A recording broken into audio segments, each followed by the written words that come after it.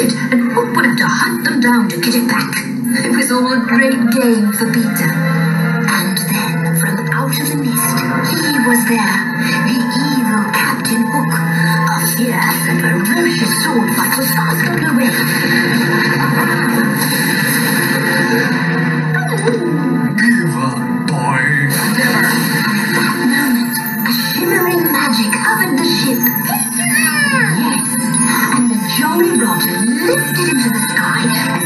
and the boys escaped with the treasure.